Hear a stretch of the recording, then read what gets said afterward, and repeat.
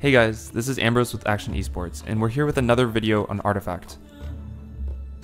Damage is arguably the most important aspect of Artifact, because without dealing damage, you cannot win. In Artifact, there are many ways to change the damage you or your opponent are dealing, and there are many different names for the mechanics that allow you to do so. In this video, we'll be going over the different ways to amplify, mitigate, and nullify damage. First, let's cover the three main stats that you will see on most creeps and hero cards. Similar to other card games, health and attack are the two easiest terms to understand in Artifact. Health represents the amount of damage a unit can sustain, and attack dictates the amount of damage a unit can deal when attacking. When a unit's health reaches zero, it is defeated and is eliminated from play. The third stat, Armor, reduces incoming damage taken by 1 point for each point of armor, for example, the hero Axe has an armor stat of 2, which reduces any incoming damage by 2 points. There are a variety of cards in Artifact with effects that can add, remove, and place special conditional effects on health, attack, and armor, ranging from equipment cards to various spells and hero abilities.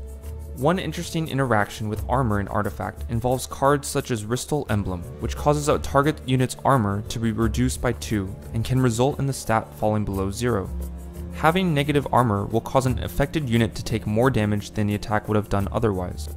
Attack values can also be targeted by card effects, such as that of the recently revealed Hellbear Crippler, and can be reduced beyond zero into negative values. While attack can go negative, a unit with a negative attack value after armor calculations will not deal negative damage. In Artifact, there are currently four types of damage in the game.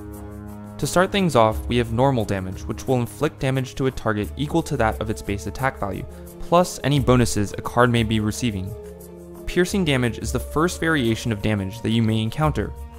As the name suggests, piercing damage will allow you to bypass the armor on an enemy unit and inflict damage such as in the case of Zeus's signature card, Thunder God's Wrath, which ignores all armor and deals 4 piercing damage to each enemy hero in all lanes. Additionally, if a card has negative armor when facing piercing damage, it will still take bonus damage.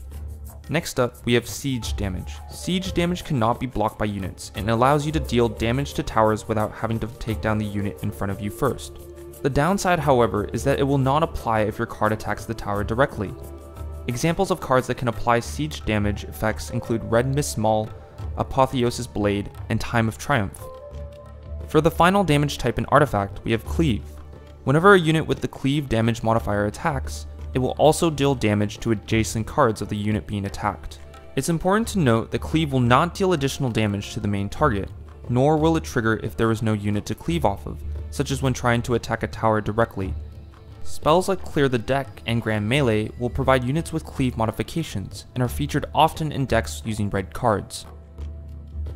With all these damage types in the game, Valve has also implemented a series of defensive mechanisms to slow down the pace of the game and introduce more counterplay options to decks that focus on being aggressive and rushing the enemy down with one or many units.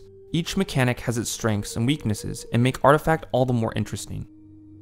First, we have the damage immunity mechanic, which as the name implies makes a unit invulnerable to any form of damage. While in this state, your units can still be healed and afflicted by the non-damaging effects of spells. For example, you can still cast Frostbite on a unit with damage immunity and apply Disarm, a debuff that prevents a unit from attacking, but no damage will be taken. At the cost of 7 mana, Hand of God is a powerful card that provides damage immunity to all your units for that round, in addition to fully restoring their missing health. You can make use of damage immunity to gain the upper hand by trading during the combat phase without incurring damage. To circumvent such a strong defensive buff, there is an equally powerful offensive mechanic in Artifact known as Condemn. Usually found on spell cards, the mechanic Condemn will destroy a target unit instantly, even if it has damage immunity. Heroes that are destroyed will be sent back to the fountain, but any creeps or items that are destroyed by a Condemn effect like that of Corrosive Mist will be gone for good for the remainder of the game.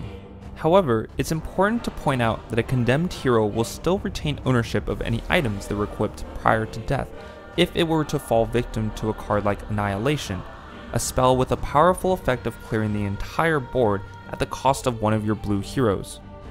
One of the only known methods to resist Condemn is if you have a card with the Death Shield mechanic, like the card Relentless Zombie. This effect will be removed when a unit takes fatal damage or afflicted with Condemn and leaves the card to survive with 1 HP. Relentless Zombie has the potential to be a good stall card, as it allows you to draw out the early game and force your opponent to allocate at least 2 damage hits to kill one creep. The Retaliate mechanic is a more indirect method to deal damage to enemy units. Attacking a unit that has Retaliate will force the attacker to take extra damage in return. This applies to any attacks that occur outside of the damage phase, works on targets that can't take damage in the first place because of damage immunity, triggers when affected by cleave, and activates even if a target itself cannot attack when afflicted with disarm.